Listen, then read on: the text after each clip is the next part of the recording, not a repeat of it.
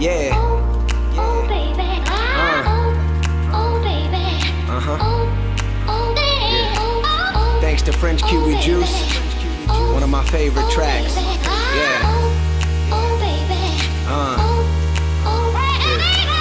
Chilling under the tree for some time now. baby, Hello and welcome back to my channel. Now, if you're new to sustainable living, it can feel very overwhelming. I know that when I made the decision to be more environmentally friendly, I fell completely out of whack. I didn't know where to start. There was so much information and a lot of it was quite terrifying actually. And I thought, right, well, I have to be 100% vegan, zero waste, plastic free, emission free, fun free, life free. I basically thought I would just have to sit at home with the heating off, not running any water, and just breathe.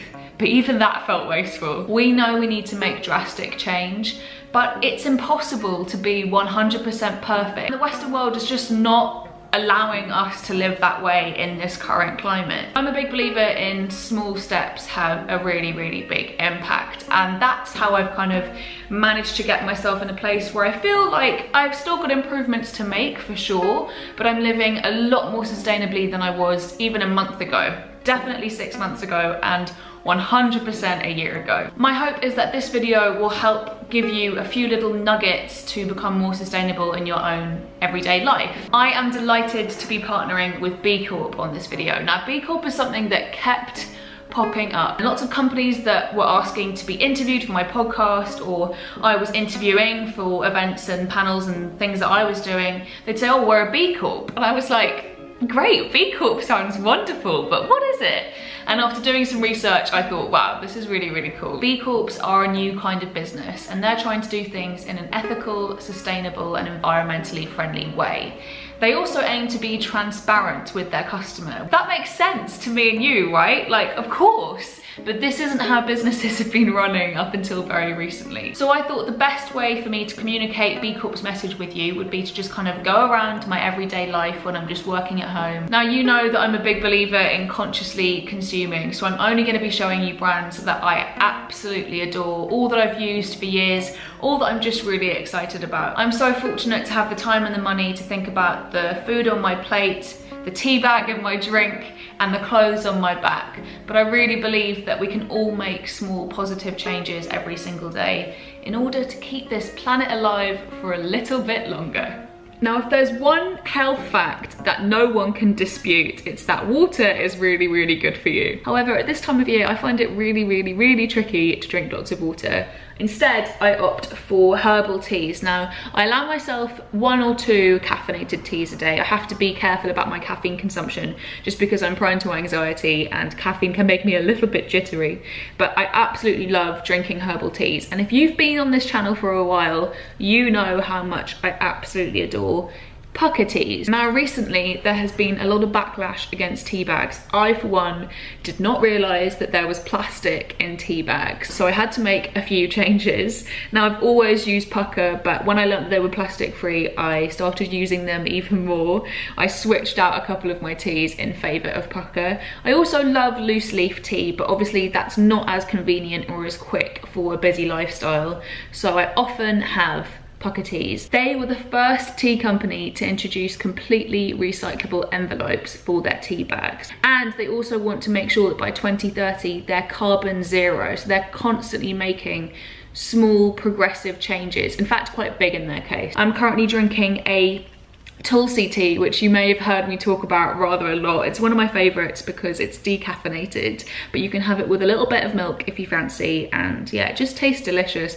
I'm sure there are amazing healing properties in it as well, but I'm all about taste, as you well know.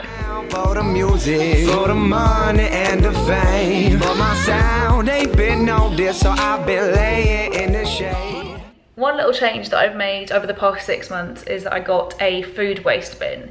Now this isn't something that my local council provided, so I was just throwing all of my food scraps into the bin and they were just ending up as landfill, which was a pretty terrifying thought because I do a lot of cooking and that goes for tea bags as well. I would just throw the tea bags in the same bin as my usual kind of waste bin. So I emailed my local council and said, hey guys, I want to make a little change. Can I have a food waste bin, please? And they pulled through.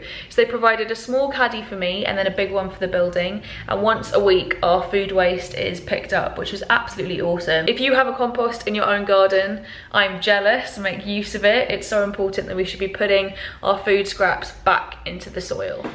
Right, I never thought I'd be filming my washing machine, but here we are. This is a little sustainable change that I've been making. I have used the Ecover products for the longest time just because they remind me of my mum because she's always used them. One of the reasons why these guys are great is because they have moved to 100% PCR recycled packaging. But the reason why I love them so much is because you can refill an Ecover product and it is the easiest thing to do. And I actually filmed how I did that for my washing up liquid the other day, so I will show that to you here. I've just come on the Ecover website and it says refill, not landfill and I just googled how do I refill my Ecover and what you do is you put in your postcode and then it will find the nearest one to you. Oh, they been on this, so I've been laying in the shade. But that's cool, I still do. Excuse me, do you do refills of Ecover here?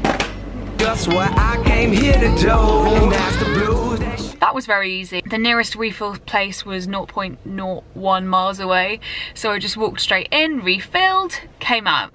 Simple. Genuinely really easy. Why haven't I been doing that for longer?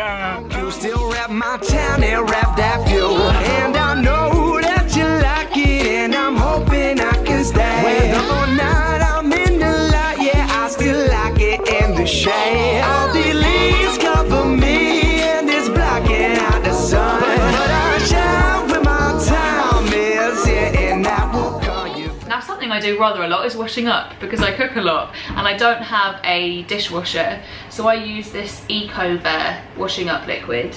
And about six months ago I made the change to these little coconut scrubs which I'm absolutely obsessed with.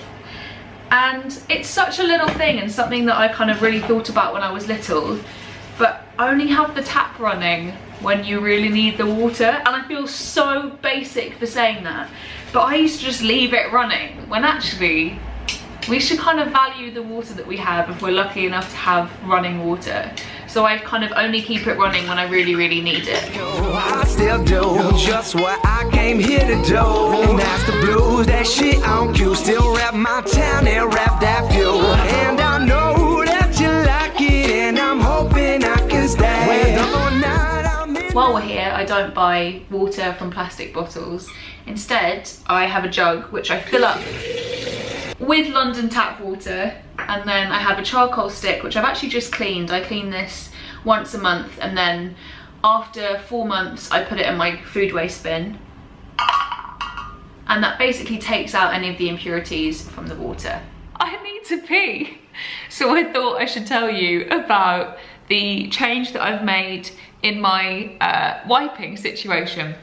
Not something I ever thought I would be talking about on the internet because I genuinely didn't think that there would be a kind of environmentally friendly way uh, to make that change in your bathroom habits. But lo and behold, there is. This is an awesome company called Who Gives a crap, which I absolutely love. Apart from the incredible packaging, the reason why these toilet rolls are such a good alternative is because they are made of 100% recycled materials. There's also no dyes or anything inky that wouldn't be good for your nether regions, which I didn't even consider, but I absolutely love this brand. I'm never looking back. You can order them in kind of huge, vast boxes. They donate 50% of the profits to actually building toilets for those in need. I can feel better about wiping my arse.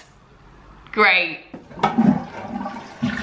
I wanted to share an updated version of my favourite snack with you. Now this is using Divine Chocolate. Divine Chocolate is such a good brand if you're looking to be more sustainable. Both the wrapper inside, which looks just like normal plastic, and the packet itself is biodegradable, so that's awesome. And they're also the only chocolate company that are fair trade and who are also co-owned by their workers. So I've got some divine chocolate here, which I've just chopped up. So I'm just gonna melt this down really quickly and then I'll be back. I'm in the light, yeah, I still like it in the shade. All the I am using non-sulfured apricots. Now these are my absolute favorites. I just picked these up from my local zero waste store. And then I just get a little knife and half them like a little clam. And then I've got some nut butter here, which I actually did as a refill the other day. And you wanna take a little amount and pop it in like so. And now I'm just gonna dip these guys in the chocolate, pop them in the fridge to harden up, and then you have a healthy snack to go whenever you want it. Love me some chocolate.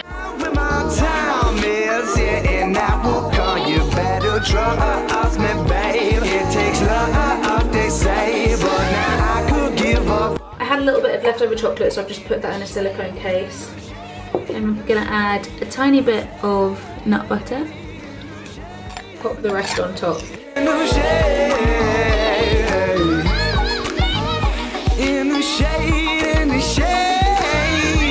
Time for the best bit. Just got this out of the freezer. Oh, look at that. Perfect. Thank you so much for watching this video. Please do leave me a comment down below and let me know what small change you're working on at the moment in order to be more sustainable. I would absolutely love to hear from you. Please do subscribe if you're new here. I'd love to have you back each and every week and I will see you very soon. Bye. I'll get one day, might just be leaves fall down around me And I come from under the shade And I'll be fine, I'll